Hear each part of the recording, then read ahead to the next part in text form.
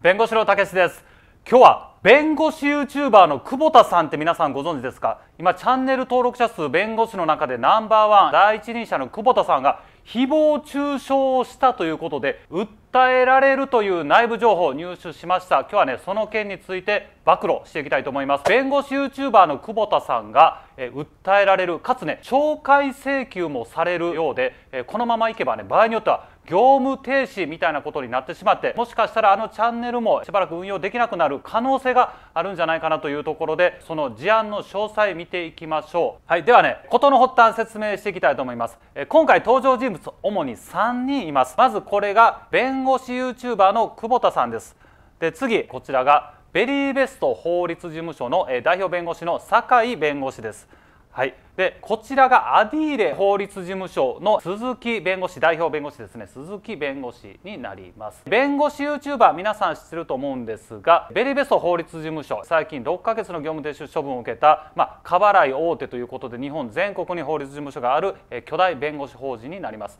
でアディーレに関しても少し前に業務停止2ヶ月の処分を受けて過払い専門の弁護士法人ということになっています。そもそも何が起こったかというと今回このベリーベスト法律律事務所、まあ、酒井代表ですね。新宿事務所というね過払い金の司法書士事務所から事件を引き継いでたんですけれどもその引き継いでた時に支払ってたお金がねこれ司法書士法人に対する引き継ぎの報酬ではなくて紹介料なんじゃないかというようなことでね。で東京弁護士会はこれは紹介料に当たるということでベリーベストやね酒井代表に対して6ヶ月の業務停止処分を出しています。で、えもちろんそこの点に関しては争いがある部分で、まあ、賛否両論いろいろとあるところなので酒井先生はね今日弁連に対して異議申し立てをしてるんですね。でその中で司法記者クラブで何かね記者会見をしたりとかねインターネット上で反論をしたりしていますその記者会見の様子とかね反論の動画をこの久保田さんのチャンネルに載せてまあここはね久保田先生というのはベリーベストに勤めているのでこここの2人がね一緒になって久保田チャンネルで今回の業務停止に対する、まあ、反論のね動画を上げているという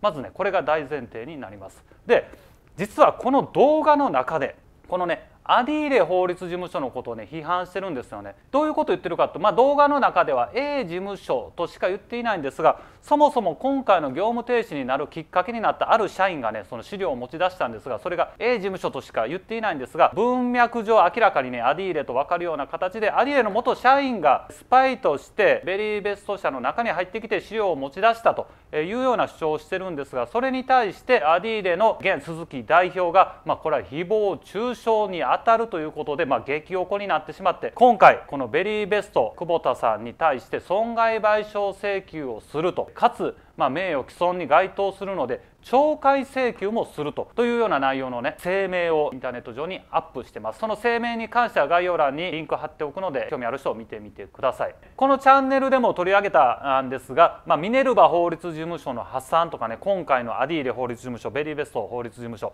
えこれともに過払い専門で大きくなった事務所。今はこの2つともね例えば B 型肝炎とか交通事故とか離婚とかねいろんな事務所扱ってる総合事務所にはなってるんですがもともと過払いで勢いつけて大きくなったね弁護士法人が今破産したりねもうこんな日本二大巨頭みたいな事務所が喧嘩し合ったりねすごい弁護士業界が荒れてる状態です。そもそもちょっとね事務所の紹介していきたいと思います。まずアディーレ法律事務所。皆さんもねテレビ CM とかで見たことあると思うんですが現在全国60拠点ほどあるということで日本ナンバーワンの拠点数を誇る弁護士法人になります。弁護士の数は140名以上ということでホームページに書かれていました。でそれに対して久保田さんが所属するねベリーベスト法律事務所ですね。全国拠点は40カ所ほどただ弁護士数が220人以上ということでね弁護士数に関してもアディーレよりも多いもう日本ナンバーワンのねそういう町弁業務を扱う、まあ、弁護士法人ということになってます。でね久保田さんねみんな詳しい人もいると思うんですが、まあ、弁護士 YouTuber としてねチャンネル登録者数もねナンバーワンのねもう先駆者といえる弁護士になります。弁護士 YouTuber の久保田さんベリーベストの酒井先生もまあアディーレの代表の方もなんでこんな日本のねそうそうたるメンバーがこんなまあまあ弁護士業界この狭い中で大喧嘩してるんですけども俺これ結論どうなるのかっていうの実は見えてます。そのねこの喧嘩結論どうなるかっていうのはちょっとね俺の本音としてこの後話していきたいと思うので続きもねちゃんと見てください。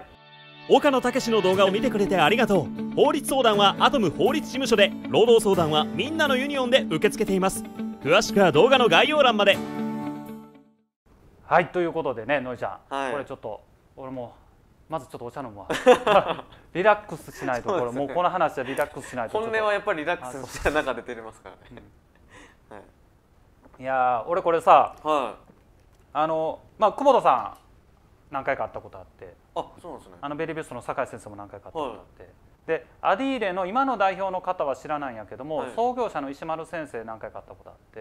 で前回のアディーレねあのなんか広告の仕方がまずいってことで2ヶ月の業務停止になったんやけどもそれで代表の石丸先生退いて新しい方鈴木先生今代表をやってるんやけども、い、やーねこれこれどうなっちゃうんですか？どうなるんやろうね、はい。あそう俺が言うんか。そう。これどうなるかどうなるかというと、俺ちょっと正味ベリーベスト部が悪いと思ってる。部が悪いと思ってる。あのまあ名誉毀損はちょっとひとまず置いといて、はい。えー結局今何言ってるかというと、はい。ベリーベストって今その新宿事務所からあの、まあ、業務を引き継いでたのが、まあ、紹介料に当たるということで東京弁護士会からね処分を受けてるんやけどももちろんそう不服があって争ってる状態やからね、はい。まだえー最終決定はしてないんやけどもただ一方で今営業してるのね。法人を分けて営業してるねそう。でもちろんあのベリーベスト側も言い分があって今回のそういう業務停止の申し立てとかねあの懲戒の申し立てとかある前から、まあ、そもそもそのファイナンス要は資金調達の観点から法人を分割してた。これどういうことかっていうと、うん。弁護士法人って無限連帯責任を負うからそういう支店展開してる、えー弁護士法人って銀行からお金借りにくいのね。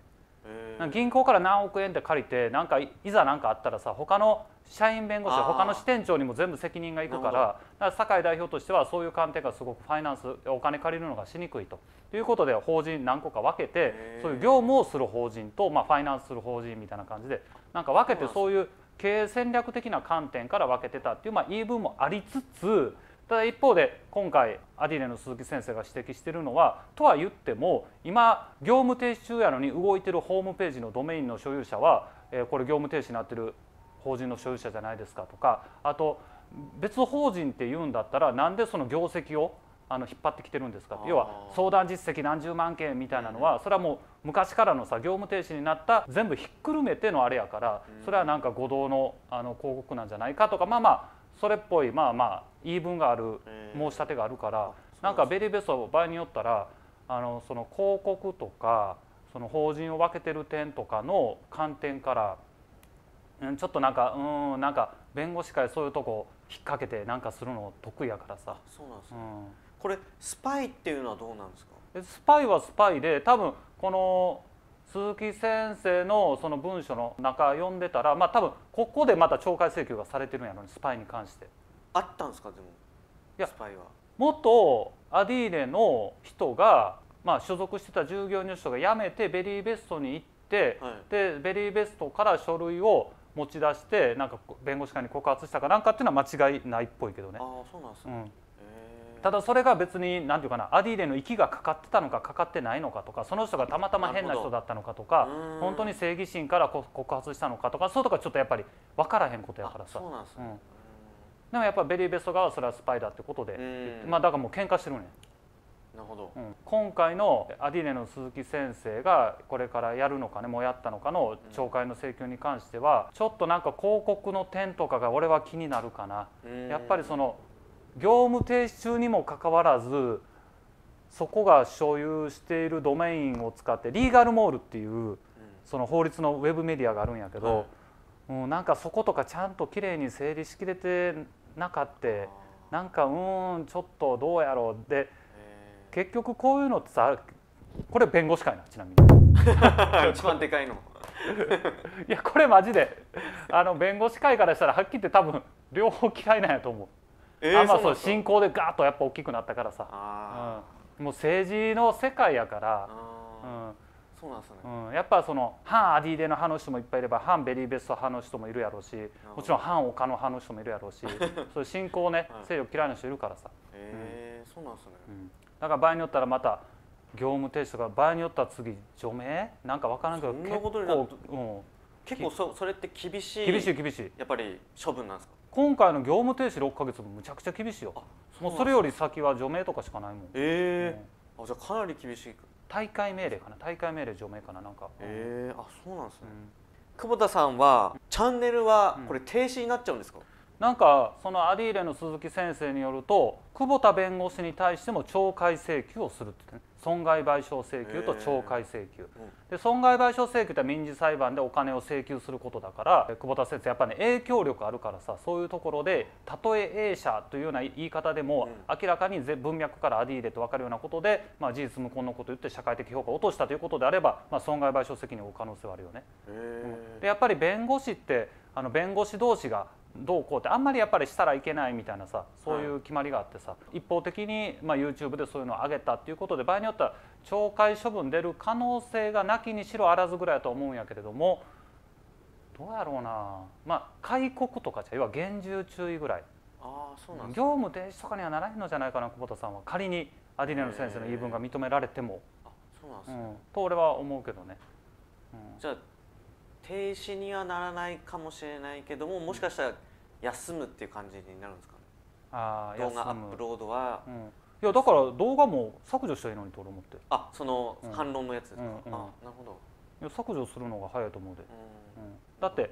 少なくともさこういう相手が嫌がってるのにもかかわらず、その後ずっと継続して公開しておくのとまあ、一応相手がそういう言い分があるんだったらそれを踏まえて非公開にしましたっていうんじゃやっぱりなんていうかな情状というかさそういうのが全然違ってくるからさ俺はそんなん喧嘩もなってるんやったらああいう動画アップするんじゃなくて俺落とす方がいいと思ううん、けど、あなるほど。俺なら秒で非公開にするか。ら。でもう一つん。あるんですけど、うん。これ久保田さん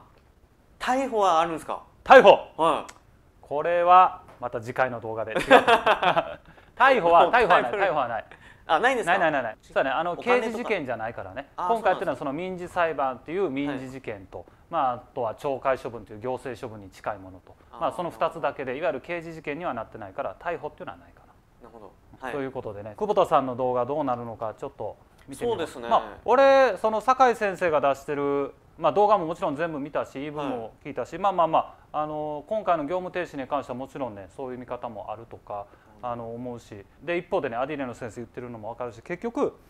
今回の案件ってこんな絵みたいな感じあんねんな。要は見る人によってそう見えるみたいな。で一回そう見えたらそう見えちゃうみたいな。これおばあちゃんやと思って見たらおばあちゃんや。もうおばあちゃんにしか見えへんやん。おもうおばあちゃんしか見えないです、でもこれ少女やと思ったら少女に見えるやん、確かに。うん、これどっちなんてでしかもそれって一回そういうふうに見えちゃうと結構もうそういうふうにしか見えなくなるからまあベリーベストの件に関しても、まあ、悪いっていうような見方したらもう悪いふうにしか見えないし、いやいや別にこれそんな少なくとも業務停止6ヶ月になるようなことはしてないよねっていうような見方ももちろんできたりとか。うん、なんかそんな感じかな。し絵なんですか？騙し絵騙し絵。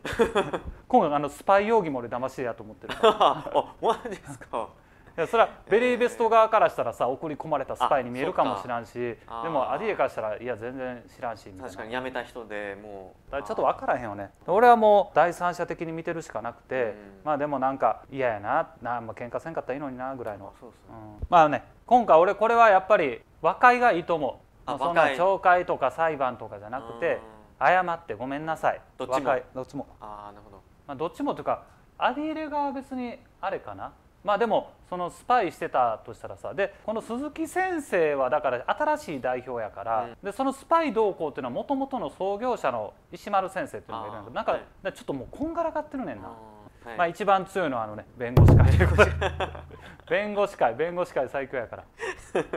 じゃあ僕らも弁護士会が起こるものはやらないようにっていう感じで 目つけられない。間違い間違いないね。はい、はいということでねアディレ対ベリーベスト、えー弁護士 YouTuber の久保田さんが誹謗中傷でアディレから訴えられてしまう懲戒請求されてしまうとねいうようなそういうね書面が出てたということの、え情報共有させてもらいました。引き続きいろんな社会派トピック扱っていくのでぜひチャンネル登録の方お願いします。ツイッターでも情報配信してるのでぜひツイッターの方もフォローお願いします。今日も最後までありがとう。バイバイ。